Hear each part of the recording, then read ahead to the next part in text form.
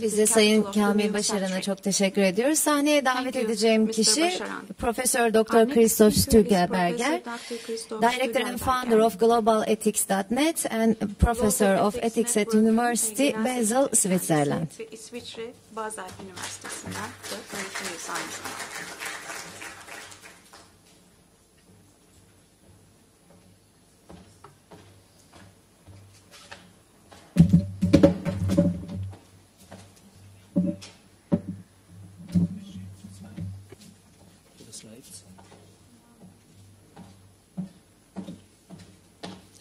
I have the for the slides. Okay. It's okay. Sorry. Good morning. Thank you very much for this invitation. It's my real honor and pleasure to be as Global Ethics Net a partner of TEİD Turkey and together with UNDP. This is a big chance of cooperation, and especially thank also the General Secretary of TAID, TEİD e, where we started cooperation last year. I would like to- Show a few slides in my opening remarks on the positioning of ethics in business, and also with a concrete proposal. Can I have the first slide? with a concrete positioning of the ethics in the international standardization field. I call it from AAA to EEE, and I will explain what it means.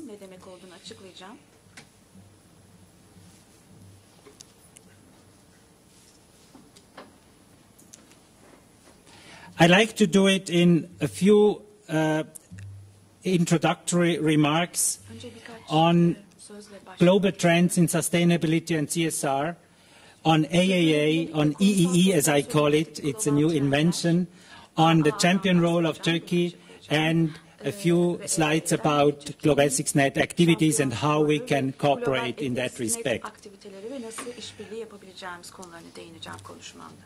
Global trends in sustainability and CSR.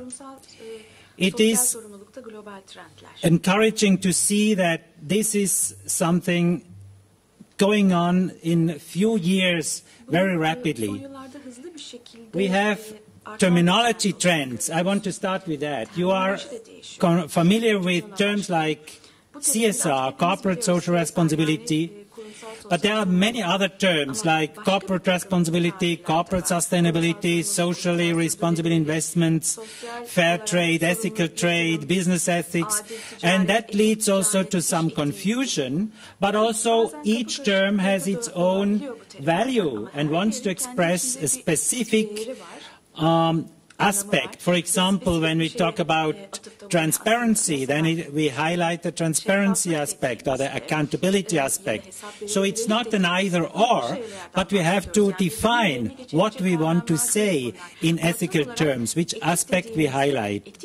Etik konulardan bahsederken The same is true on önce netleştirmemiz lazım. The value trends. What are the values behind these terms and these trends? And if you look at the last uh, 50 years, since the 60s to today, we see that each generation, each decade also highlights, sorry, highlights some uh, values. For example, uh, 60 to 70 was the development decade, the first UN development decade after independence of the colonies. Then came the growth debate with the um, uh, Rio, uh, no, with the uh, Club of Rome report, uh, limits to growth. Then the CSR and transparency term came up. Then, of course, the whole liberalization of the markets in the 90s, the whole freedom for uh, for free markets uh, call.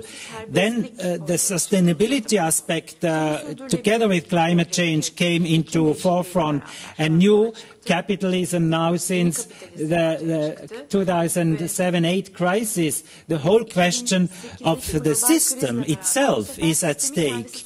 Uh, how do we reorient our economy as such, not just the small sector?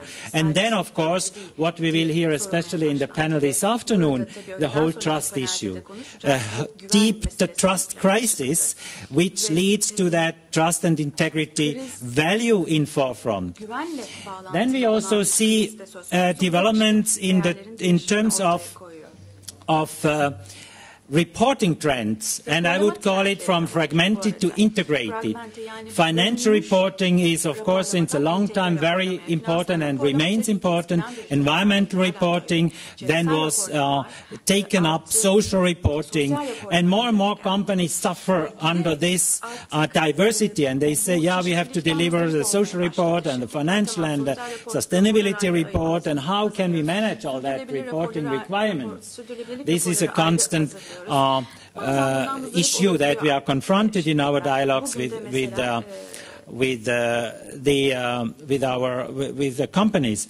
Now, sustainability reporting, GRI, for example, was an important step on that, and I'm happy uh, to welcome uh, Teodorina Lesidrenska, our staff. Maybe you can uh, stand up. Um, she, Dr. Lesidrenska, she was one of the founders of GRI and uh, still very active in this global reporting initiative. And she's now working with Global Ethics Net with me in, in Geneva. And the next step now is the integrated reporting. I was um, elected, appointed um, two months ago to the IIRC Integrated Reporting Council on a global level, which is a new framework which just starts now.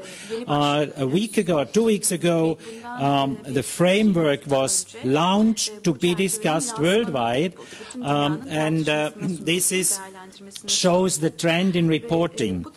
And all that is part of, I think, the, the efforts of TEİD and the others. Now, I would like to come to one standard which is very well known, uh, the so-called AAA.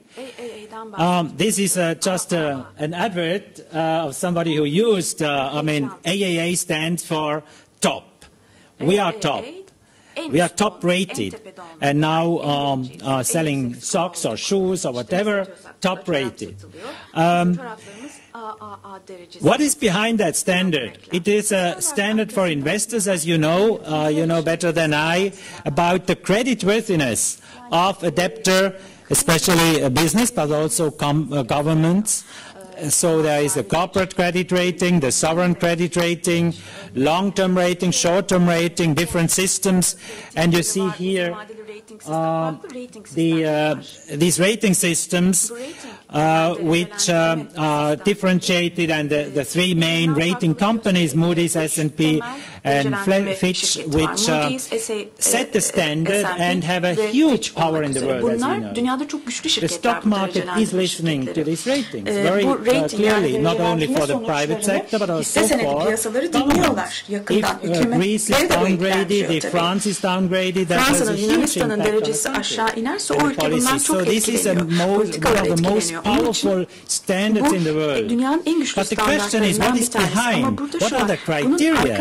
And is it really reflecting what we are discussing? Is the sustainability aspect, for example, sufficiently rated Or is it mainly financial uh, rating, which is it wants to be and is, and how to um, replace that?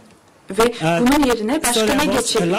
Eğer finansal sadece bakıyorlarsa diye sorabiliriz. Um, yani bu anlamda eleştiriler var. Hele de krizle beraber uh, the, the e, bu artık sorgulanmaya uh, başlandı. Bu üç e, büyük derecelendirme uh, şirketleri e, neden e, çürümüş şirketlere gidip de 3 A verdiler, triple A so verdiler, niye arkasını sorgulamadılar diye. Çünkü bu derecelendirmeleri verdiler ve en sonunda kriz çıktı. And, uh, eleştirileri var in artık. red uh, conclusion, uh, just to make it brief, AAA needs to be replaced by a more holistic rating of companies and governments, including the economic, social, ethical, environmental performance of a company or country.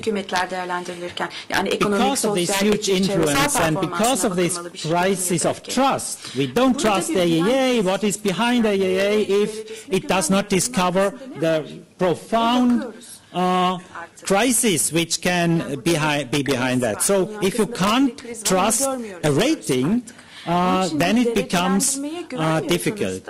Now, what I try to propose is now a rating which would be based on a triple E, I call it, ethics, economy, ecology.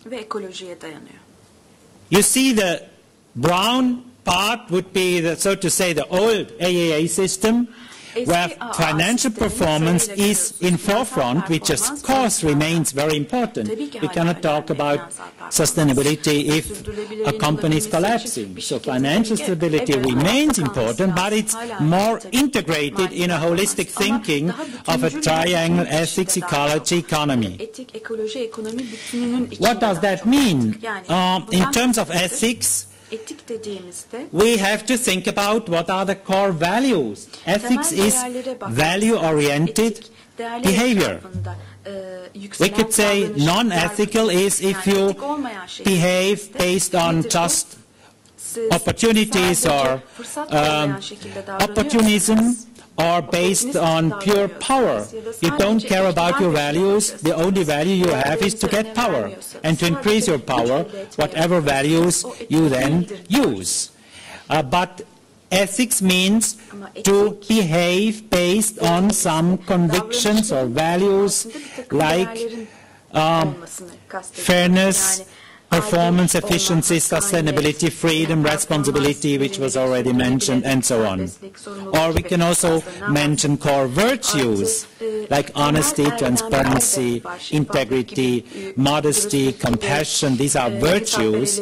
There is a close relation between values and virtues. And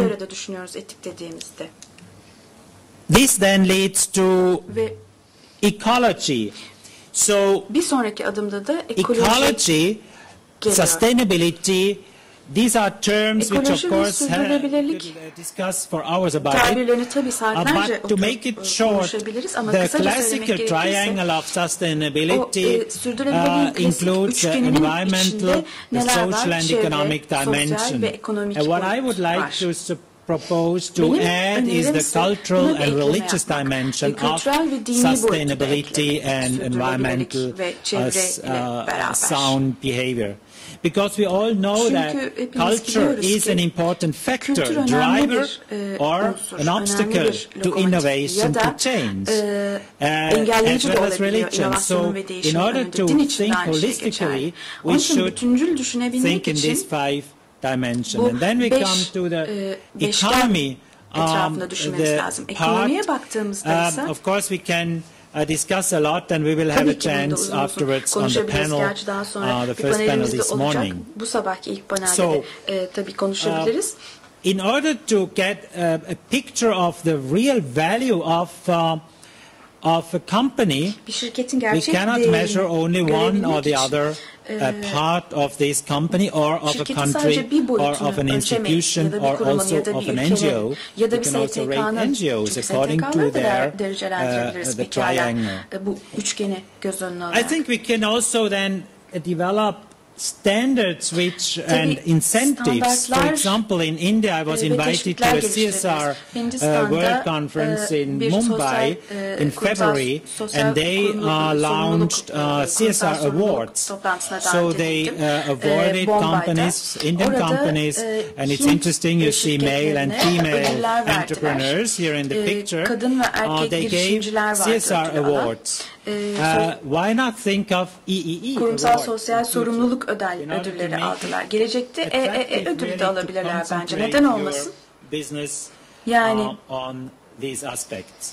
E, işletmenizi bu hususlar üzerinde odaklıyorsanız eğer EEE ödülü de alabilirsiniz. To the question of the role of Turkey. Türkiye'nin rolü meselesine gelecek olursam, citizen Türk olmayan birisi olarak tabii e, konuşuyorum. E, gözlemlerimi paylaşmak, biraz da umutlarımı paylaşmak adına konuşacağım. Benim vizyonum şu, Türkiye ve TEİT önemli bir oyuncu, bir şampiyon olabilir, lider olabilir. Etik iş yapma biçimlerini ve iş etiğini Orta Doğu'da, Doğu ve Batı'da e, bir araya getirmek bir köprü vazifesi görmek için. E, Kuzey Afrika, Sahra Altı Afrikası ve dünyanın pek çok bölgesinde önemli bir yatırımcı Türkiye. O bakımdan zaten şu anda önemli bir rol oynuyor, gelecekte de oynayacaktır diye düşünüyorum. E, ben buna inanıyorum. Turkey has a special Ayrıca Türkiye'nin özel e, bir özelliği de var. Belki sorumluluğu da var onunla beraber gelen. E, diğer BRIC, BRICS ülkeleriyle beraber ki bence Türkiye'de BRICS ülkeleri grubuna dahil yani gelişmekte um, olan ülkeler grubuna, piyasalar grubuna dahil. Uh, e, bunların arasında bir koordinasyon ve köprü vazifesi uh, kurabilir. Ayrıca bütün işletme okullarında ve üniversitelerde um, iş etiğini zorunlu ders haline getirebilir konuşabiliriz. Bu eğitim alanından Bilal yine konuşabiliriz tabii ki. E, kurumsal sosyal sorumluluk mevzuatı e, ve e, mevzuatın uygulanması kapasitesi meseleleri de önemli. Özellikle de yolsuzlukla başa çıkma bağlamında. Um, Türkiye'nin bunlar rol oynayabileceği alanlar. Şimdi de e, Global Ethics Net'ten bahsetmek istiyorum. Bir e, global ağız biz. E, birkaç uh, yıl önce kurdum ben bunu. Merkezimiz uh, Cenevre'de ve iş etiği üzerinde çalışıyoruz. Gördüğünüz gibi çok kültürlü, çok dilli bir şekilde çalışıyoruz.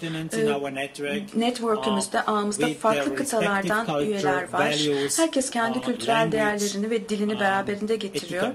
Ee, Endonezya'da etika business var mesela. Rusya var, e, Hint, Çin, Çinli, İspanyol kurumlar var. We are a network uh, of uh, almost 80,000 now. Uh, Yaklaşık 80 bin katılımcımız var ağımızda. Ethics News, with uh, a lot of information news, uh, accessible for everybody. Bizim and, başta uh, olmak üzere e, herkesle bilgi paylaştığımız farklı uh, platformlardan uh, bir tanesi. Şimdi katılımcıları arayabiliyorsunuz. Ülke bazında arayabiliyorsunuz bu ekranda gördüğünüz gibi. Çünkü dediğim gibi on binlerce katılımcımız var.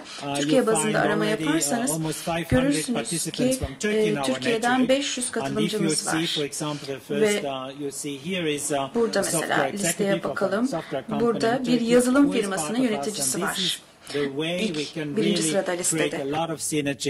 Dolayısıyla bu katılımlarla e, TEİT'le de diğer ortaklarımızla yani UNDP Birleşmiş Milletler Kalkınma Fonu gibi herkesle ortak bir sinerji oluşturma gücümüz var. Bir kitaplığımız var.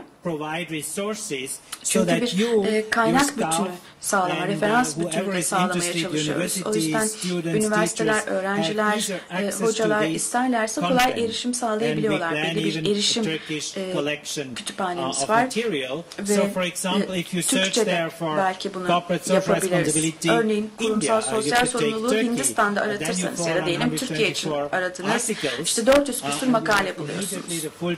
Ve makalelerin tamamını görüp ücretsiz olarak download edebiliyorsunuz. Then uh, we have also many other activities on business ethics. İş etiğiyle ilgili başka um, faaliyetlerimiz de var. Web sitemizde uh, bulabilirsiniz bunları. Doktor Lesa Dranska e, sorumlu bu e, programdan. Uh, Global Ethics Net bünyesinde.